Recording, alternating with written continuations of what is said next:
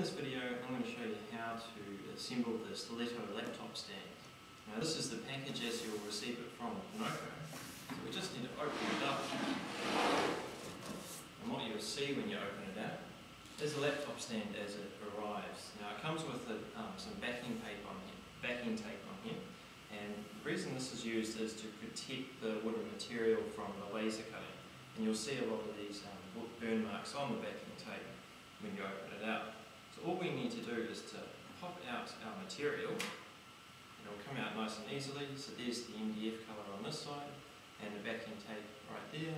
And so you just need to peel the backing tape off all the pieces. And you'll see how much it's protected from those sorts of marks. So we'll just do that for each of these pieces. Once we've unpackaged all our pieces, what we'll find is we've got five of these stiletto pieces right here. We've got one skinny piece that acts as the lip on the front of the laptop stand. We've got two of these smaller braces. We've got two of the medium braces right here. And we've got one very large brace which goes on the back of the laptop stand. And this is the piece that we'll start with. Now, you might see some coloration on these lines here, and if you have that facing up to you, that's the best way to start.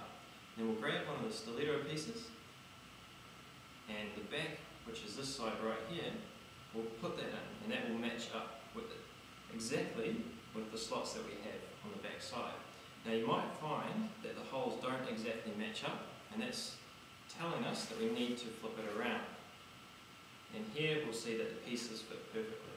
Now all we need to do is to put some pressure down here, and you should hear a nice little click when it gets into place. And so we'll just continue on, we'll put all five of these pieces here. Now don't be scared to use a bit of pressure, but it should come reasonably easily, but firm. Put the fourth one in.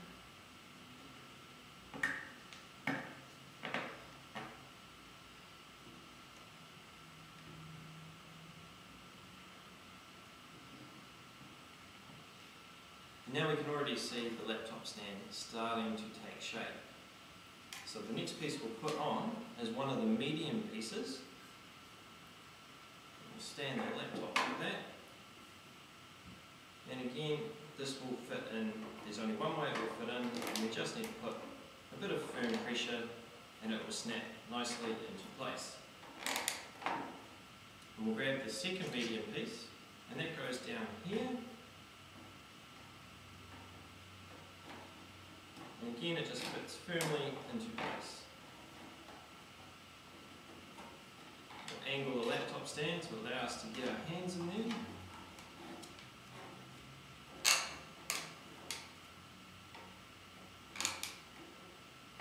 Now we'll grab the skinny lid and we'll put that down right at the bottom of the front. And this is a different fit to all of the other pieces. We just go one brace at a time and snap that into place.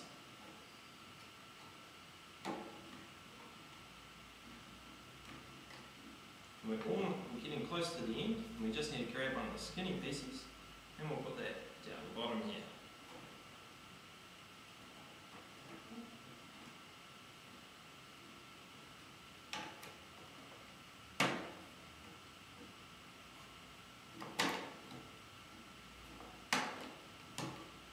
you can hear that clicking into place. We've just got one piece left, which is the very last piece.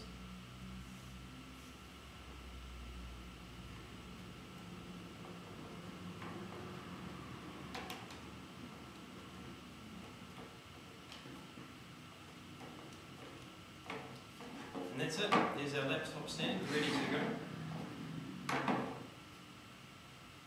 And you'll find that it's nice and sturdy. We'll just go find a laptop to put in there. So the laptop just fits in nicely from the top and it will sit there down towards the bottom, screen extended,